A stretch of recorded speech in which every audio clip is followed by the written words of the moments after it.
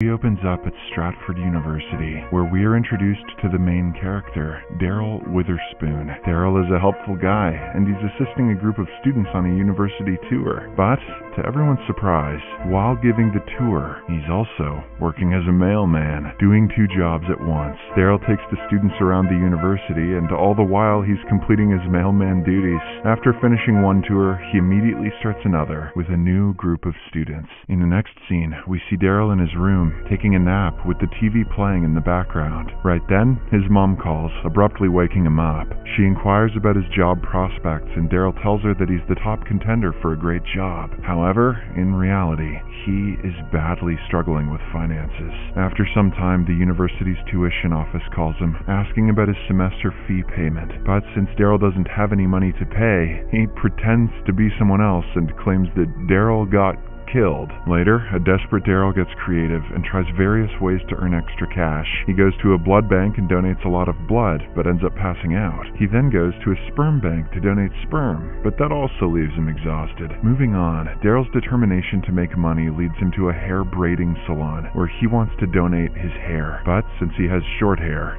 he wants to donate something else from his lower body. As expected, this enrages the owner, and he is promptly kicked out. Well, no pube transplants for you. The next day, at the university cafeteria, Daryl is approached by his classmate Scott. The latter is also a candidate for the job Daryl has applied to, and both appear to be rivals. They make fun of each other and explain why they are better suited for the job. Meanwhile, a beautiful girl named Janice enters the cafeteria, and Daryl is instantly captivated by her looks. Later, at class, a representative from Smythe Baines Corporation comes as a guest lecturer to talk about the job they're offering. He explains the qualifications required for the job, emphasizing the importance of being active in sports and social activities. He also mentions that the winner will be selected from the five finalists. Unfortunately, Scott seems to have all the qualifications required for the prestigious job, which worries Daryl. However, he doesn't give up and decides to showcase his athleticism by playing ice hockey. Daryl approaches his coach even though he has never played hockey before. The coach initially says no, but Daryl is determined to prove himself. He then turns to his roommate Tim, who is the hockey team captain, and asks for his help in convincing the coach. Eventually, Daryl gets a chance to play as a stopper, but he struggles and gets hit by the puck multiple times failing to save any goals. Classic comedy scene. I wonder if he also farted. One day, while cleaning the campus, Daryl discovers a pamphlet about a neuropsychology seminar that promises to pay participants.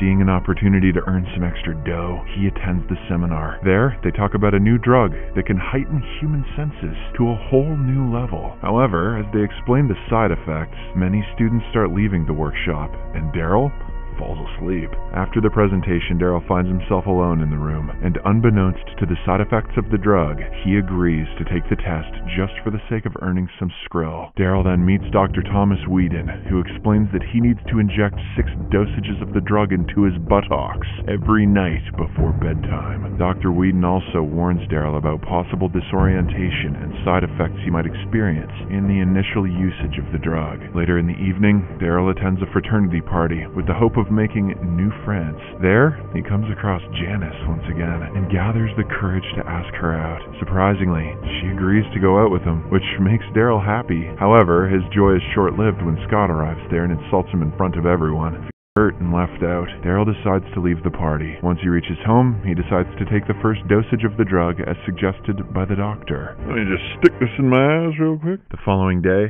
during an exam in Professor Engel's class, Daryl starts experiencing the drug's side effects in an intense way. His senses have become extra sensitive as the ordinary sounds like pencils writing or watches ticking start to bother him. Even the lights reflecting off a classmate's diamond necklace unsettle him. After a while, Daryl becomes becomes visibly uncomfortable, and his facial expressions and body language change drastically. When the professor asks him to stop, Daryl feels even more frustrated and goes straight to Dr. Whedon's office with complaints. Fortunately, the latter reassures him that the drug is working as intended, and the discomfort he's experiencing is just a part of the experiment. The doctor then advises Daryl to exercise his senses to gain control over them and live a normal life. Taking this advice to heart, Daryl tries very hard and eventually manages to take control of his senses. He actually develops heightened senses, giving him a kind of superpower. As Daryl continues his daily routine, he works as a kitchen staff for the university's program, trying to make ends meet. Meanwhile, the Smythe-Baines corporation is celebrating with their finalists for the job competition. Even though Daryl didn't make it to the finals, he uses his new superpower of senses to impress the panelists. This unexpected display of Daryl's abilities persuades the panelists to make him the sixth finalist for the job competition. Why didn't you just tell us you were taking steroids? Nice.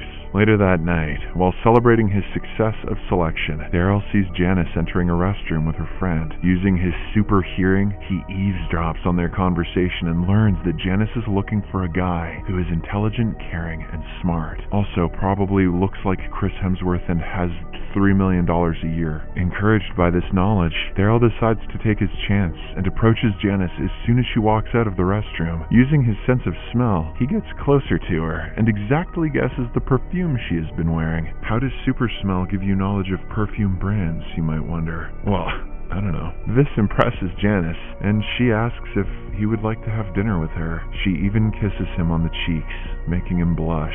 The next day, Tim spots Daryl using injections on his buttocks and deduces that he has become addicted to drugs. Later in college, Daryl impresses the hockey coach with his skillful skating and even saves a puck flying towards them, preventing an accident. As a result, he is allowed to join the team. Taking full advantage of this opportunity, Derek excels in the game, saving every goal. Even Scott is left in awe of his performance. The scene then shifts to an inter-college ice hockey match, and the commentators mention that Stratford University has a terrible history with the game, but this time they have no idea that Daryl is playing as the goalie. His team takes an early lead, and he manages to stop virtually everything thrown at him. In the end, Stratford wins a game for the first time ever, and everyone celebrates the success. Next, Daryl goes for an interview at the Smythe-Baines corporation office. Using his superpower, he listens to the questions being asked in the interview. Daryl then fills in the information that other interviewees had missed earlier during his own interview. With this, he impresses Randall Tyson, one of the board members who wants Daryl to impress Arlo Vickers, a potential client of their company. Our boy agrees to do this right away. Tyson then informs Daryl that the final decision will be made within five days.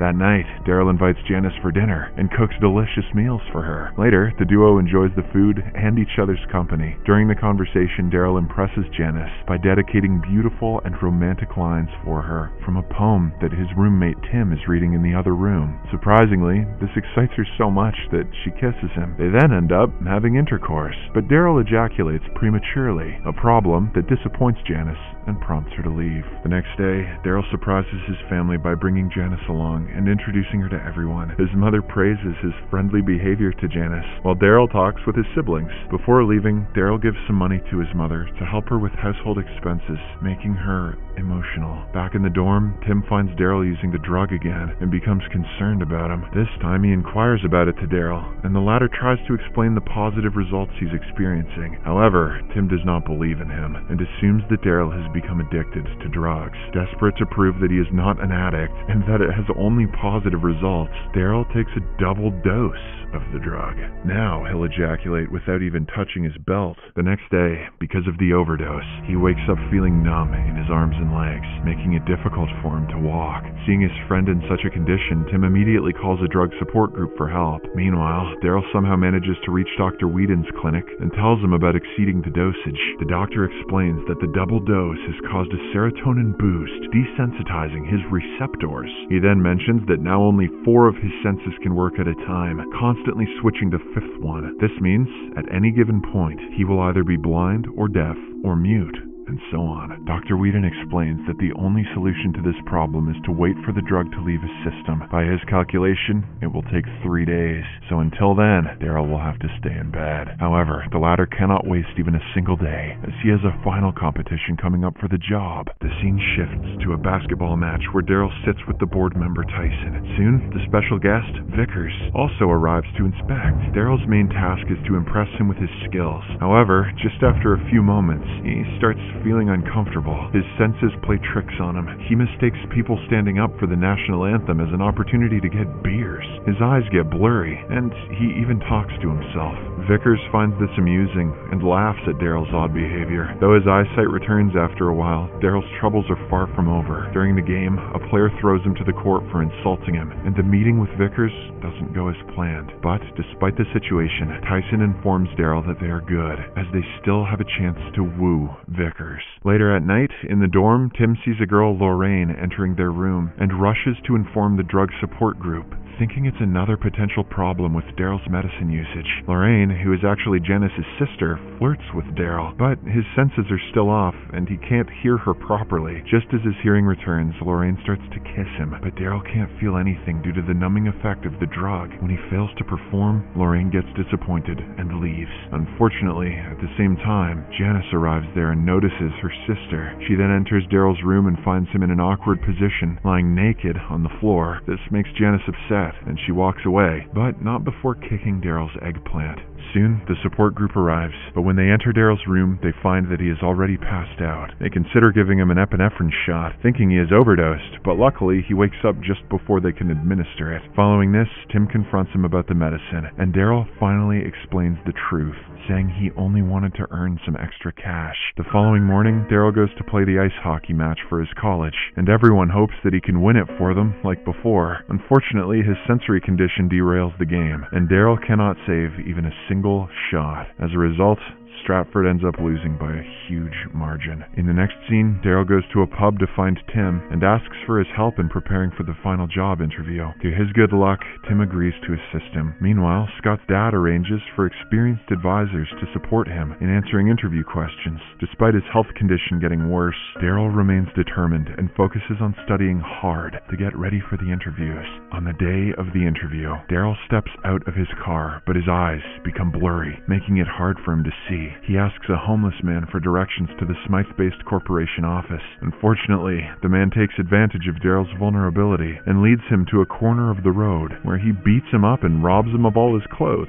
leaving him naked. Daryl somehow manages to hide his private part with a trash can lid and reaches a store to get new clothes. Unfortunately, upon arriving at the office, he realizes that the dress he has selected is inappropriate for the interview. At the same time, the drug starts showing its effects, causing him to urinate in his pants. However, after urinating, Daryl realizes that the drug has finally left his system and he is totally back to normal. He then enters the competition room, defending his attire by saying that he is allergic to formal clothing. Soon, the final round of interviews begins, and Daryl and Scott end up competing against each other. When faced with a tiebreaker question from Professor Engel, Scott fumbles with his response, but Daryl comes up with a brilliant answer. This impresses Tyson, and he offers Daryl the job. However, our boy feels guilty about cheating with the drug, so he comes clean about his actions on stage. Despite the shocking revelation, Tyson respects his honesty and offers him a junior level job at the company. Fast forward to a year later, we see Daryl as a junior analyst, entering the Smythe-Baines corporation building to start his dream job. The movie ends with a heartwarming scene, revealing that Daryl and Janice have gotten married and are moving into a new house with their family. Subscribe for more videos like this turn on notifications, and leave a like to help the channel out. Thank you for watching.